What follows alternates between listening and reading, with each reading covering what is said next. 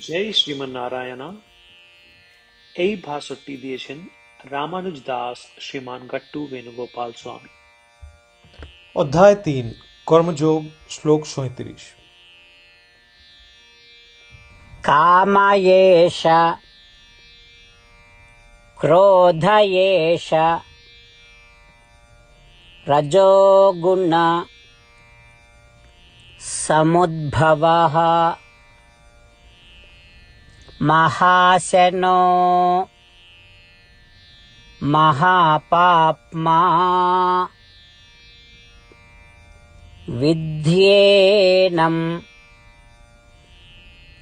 इह वैरिणम्। ॐ।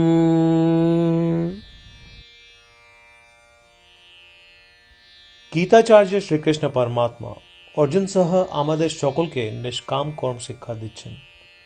পরমাত্মা বলছেন, অর্জুন, তুমি আমাকে জিজ্ঞেস করেছিল, কোন শক্তি দ্বারা তুমি পাপ করতে বাধ্য হচ্ছ? আমি তোমাকে এই ব্যাখ্যা করতে যাচ্ছি। অর্জুন, সেই শক্তি হলো রজগুণ বা আবেগের পথ।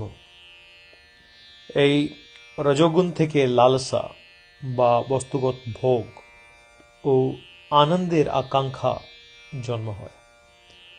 তুমি যতই বস্তুগত ভোগ পাও না কেন, কোনো তৃপ্তি নয় এবং সেই বস্তুগত ভোগের জন্যে সীমাহীন তৃষ্ণা রয়েছে।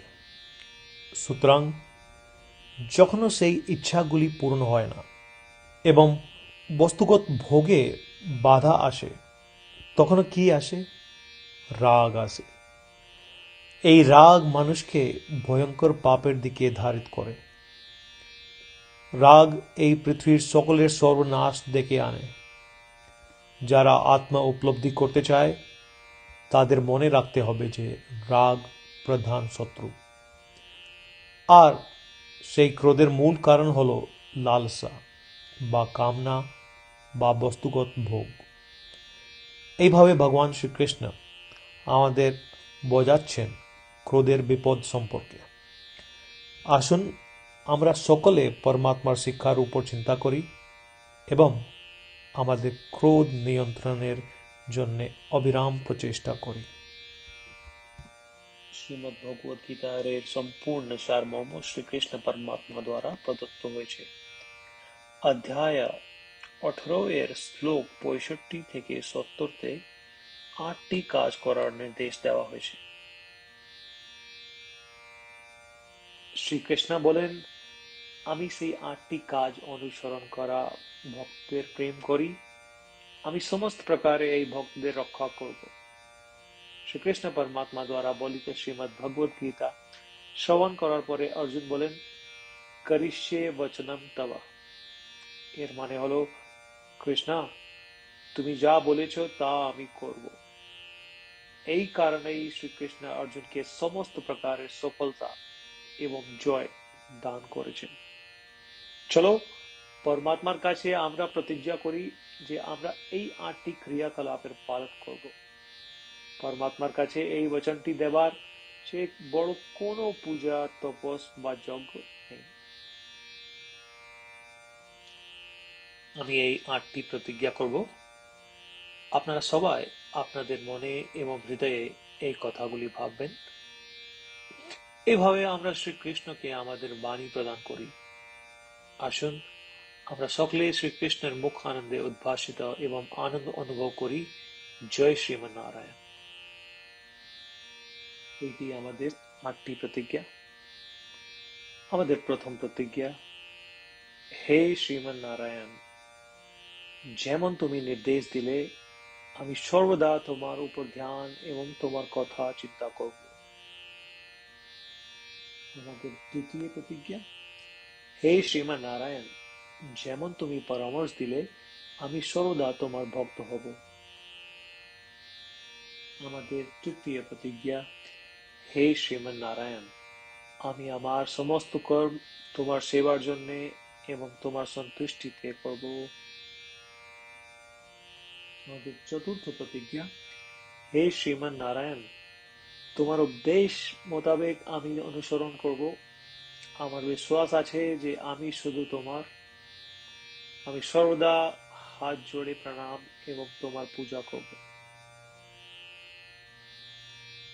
আমাদের পঞ্চম প্রতিজ্ঞা, হে শ্রীমান নারায়ণ আমি মনে করি, তোমার শব্দ মামেকম স্বর্ণম ব্রজ যেটি তুমি কেবল মাত্র তোমার উপর সমর্পণ করার বলেছ। শ্রীমান নারায়ণ আমি শুধুমাত্র তোমার উপর সমর্পণ করছি। আমাদের ষষ্ঠ প্রতিজ্ঞা, হে শ্রীমান নারায়ণ আমি মনে করি তোমার শব্দ মা সুচহ যা তুমি আমাদেরকে আশ্বাস দিয়েছ যে আমরা দুঃখী থাকব না, আমি আর দুঃখিত হব না। আমাদের সপ্তম প্রতিজ্ঞা। হে শ্রীমান নারায়ণ তুমি আমাদেরকে সকলকে শ্রীমদ ভগবত গীতার আশীর্বাদ এবং উপহার দিয়েছ। আমি তোমাকে প্রতিদিন অবশ্যই একটা শ্লোক পড়ব অথবা শুনব, এই প্রতিজ্ঞা করছি। আমাদের অষ্টম প্রতিজ্ঞা। হে শ্রীমান নারায়ণ তুমি গীতা সমস্ত মানব জাতির কল্যাণ জন্য প্রদান করেছ। আমি চেষ্টা করব তোমার দিব্য বাণী গীতার প্রচার করতে। আমরা পরমাত্মার কাছে আমাদের আটটি প্রতিজ্ঞা করেছি। শ্রীমান নারায়ণকে প্রতিদিন আমাদের কথা দেওয়া যা আমরা করব, যেমন তিনি বলেছেন, নিজেই একটি মহান পুজো। চলো আমরা তাকে অটল বিশ্বাস সাথে আমাদের প্রতিজ্ঞা কুদি ও শ্রীমান নারায়ণ আমি তোমার বলা মতন করব, আমি তোমার ইচ্ছা মতন আচরণ করব এবং আমি কেবল মাত্র তোমার জন্যই কাজ করব শ্রীমান নারায়ণ করিষ্যে বচনম তবা এর মানে হলো শ্রীমান নারায়ণ আমি তোমার নির্দেশনা মোতাবেক আচরণ করব সর্বম শ্রীকৃষ্ণ অর্পণ নমস্তু জয় শ্রীমান নারায়ণ काम एष क्रोध एष रजोगुण समुद्भवः महाशनो महापाप्मा विध्येनम् इह वैरिणम्। ॐ काम एष क्रोध एषः रजोगुणसमुद्भवः महाशनो महापाप्मा विध्येनमिह वैरिणम्। ॐ श्रीमन्नारायण करिष्ये वचनं तव। सर्वं श्रीकृष्णार्पणमस्तु జై శ్రీమన్నారాయణ জয় শ্রীমন্নারায়ণা। সকল ভক্তদের কাছে একটি বিশেষ অনুরোধ। আমাদের জীবনে সমস্ত কিছুতে আমরা অবিলম্বে এবং কার্যকর ফলাফল চাই। এই অর্জন করতে আসুন প্রতিদিন এক মিনিট বের করি এবং নারায়ণ অস্ত্রম পড়ি।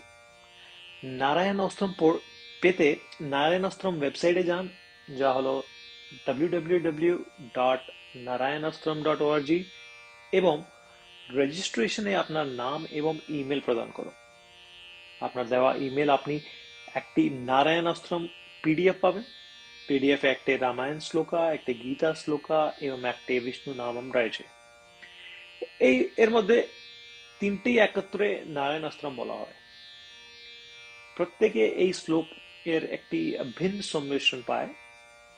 যখন প্রত্যেকে তাদের নারায়ণ আশ্রম পাঠ করে বা শোনে, চব্বিশ হাজার ভক্তদের সাথে এক রাউন্ড সমগ্র রামায়ণ পরায়ণ তৈত্রিশ রাউন্ড শ্রীমদ ভগবত গীতা পরায়ণ, চব্বিশ রাউন্ড বিষ্ণু সহস্র নাম বৃতান্ত সম্পন্ন হয় প্রতিদিন। এই এমন একটি অসাধারণ ফলাফল যা প্রতিদিন এটি করার ফলে আসে। সেই জন্যে আপনি এবং আপনার পরিবারের সদস্যরা